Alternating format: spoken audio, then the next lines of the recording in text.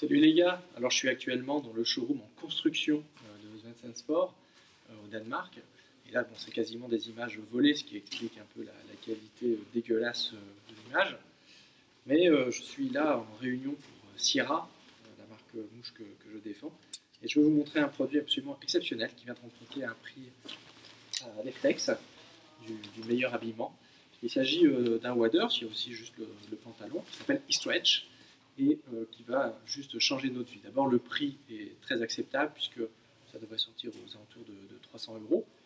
Et surtout, c'est la technologie qui compose euh, ce, Waders, qui est absolument exclusive pour euh, Sierra, qui devrait vous intéresser puisqu'en fait, c'est la première fois qu'un tissu utilisé pour les Waders, et non pas simplement juste pour faire une veste qui n'a pas de fonction d'imperméabilité, d'étanchéité, est étirable absolument dans toutes les directions.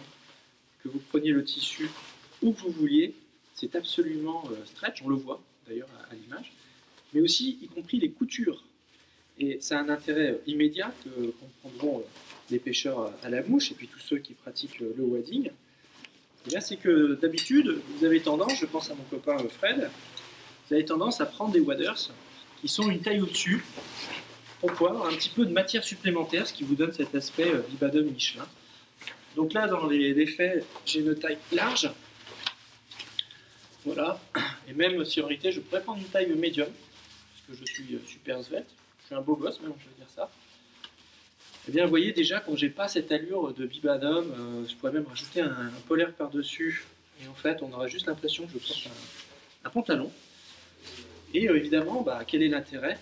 C'est que quand je fais des mouvements, par exemple, si je veux m'accroupir pour remettre à l'épuisette ma truite, eh bien, ça tire pas sur les coutures.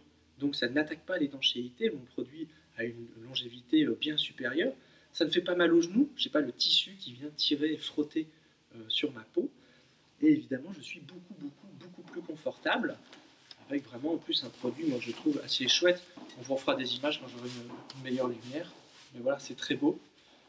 Et euh, je pense vraiment que c'est un produit révolutionnaire et qui devrait supplanter à peu près tous les waders, des pêcheurs à la mouche et puis des autres aussi. Donc voilà, je vous en dis un peu plus prochainement.